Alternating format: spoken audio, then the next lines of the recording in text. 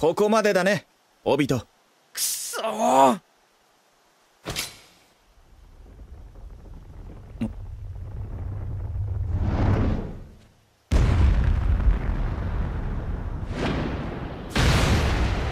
いい作戦だよ。オビト2時の方向。あカトン。豪華級の術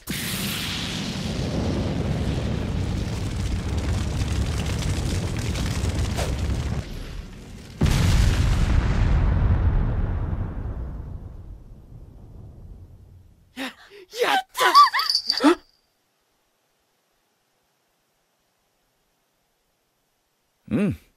もう少しだったね。そんな先生いつのちまた失敗かよ。成長したね二人とも。それにチームワークをよく分かってる。さてあとは。おこのタイミングで。間にかかし。先生今日こそ勝たせてもらいますここまで姿を隠していたのは作戦の一つかい？いいえ先生相手に2人を守りながら戦うのはきついんで。だから二人がやられるのを待っていたのか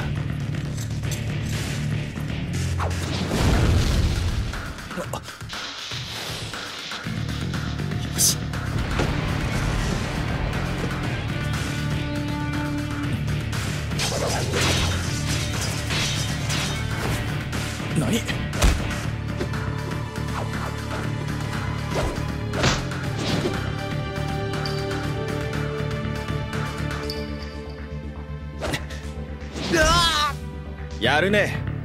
けどそれじゃ俺に勝てないよ。まだまだ影分身。未完成だがこれで。決める。言ったろ。俺には勝てないって。カカシ君の負けだよ。そそんな。なんて速さなんだ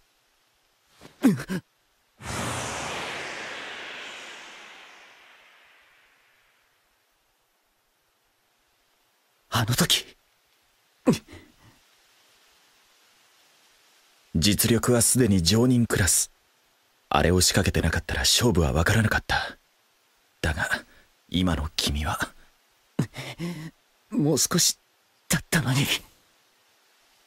もう少しか。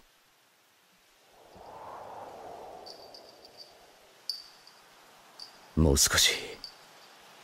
あの頃の俺はもう少しで先生に認められそしてもう少しで本物の忍びになれると思っていた。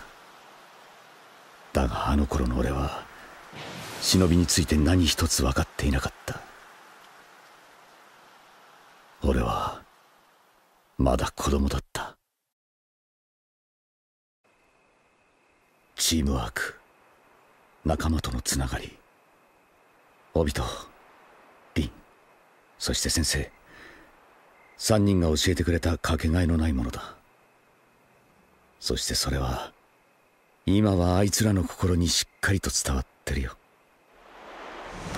次はあいつらが皆から伝えられたものを次の世代に伝えてゆく。次の世代はもう目の前だ。俺もそろそろ。あいたいたおーい加賀先新しい任務があるって綱田様がお呼びです。生早く行こうぜ！ああ今行く。でもまあもう少しだけ見守っていないとな。また来るよ。加賀先生ってば何やってたんだよ！ああまあなんというか。どうせまたぼーっとしてただけなんでしょ？いやいや人生という道に迷っちゃってね。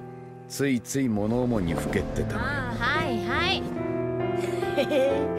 新しい任務ってば楽しみだな。ねさくらちゃん。あんたそればっかりね。まあね